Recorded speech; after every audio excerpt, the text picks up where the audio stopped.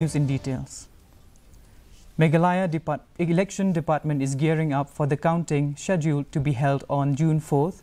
The Chief Electoral Officer Dr. BDR Tiwari yesterday held a meeting with the state election machineries, the, pol the police officials and the returning officers. With barely 10 days left for the counting, this crucial meeting discussed on various aspects including law and order in the counting arrangements, Talking to media, the Chief Electoral Officer informed that the counting of votes will be done in 13 counting centers across the state. 13 counting centers, 12 in the 12 districts and one in the Sohra civil subdivision.